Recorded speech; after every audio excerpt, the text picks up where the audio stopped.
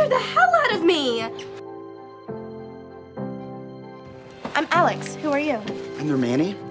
Nice try. I know they're Manny, and you look nothing like him. I hate to go all ballistic, but it has not been a pleasure meeting you.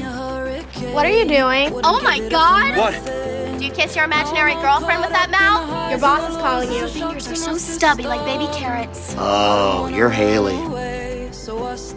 Haley? It's weird. There's about him. When you grow up, you'll see what qualities make up a real man. I'm just saying, you deserve better.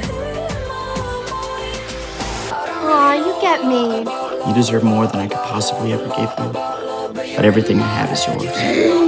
You've been framed. Aw, come on, don't be so formal. Hey, do you, uh, do you really have to do that? I see what you're doing. Put me down, freak! Ugh. Hey, Be cool. Come here, you. I saw some stuff online, so I got a couple new things I want to try out. Well, Let's do it.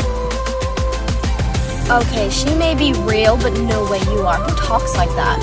Hey, sexy. you know, I hate when you say things like that because you are funny and you were pretty and you were smart in an original way. So why shouldn't a guy feel lucky to love you? You and I, we've all done it. Talked ourselves into the penguin because we didn't think we had a shot at the elephant. There's this other girl. If I'm your elephant, you have a shot. I just don't know how she feels. Maybe we should wait for the perfect moment so we can start our relationship right.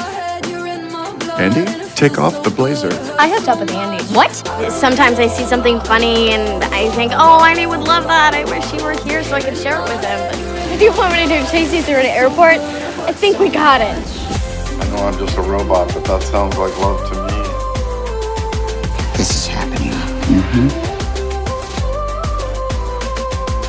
Promise me you won't forget me, my darling. I don't regret a single minute I've spent with you. I think you're the first man I've ever loved. Not a single minute. Really are the first.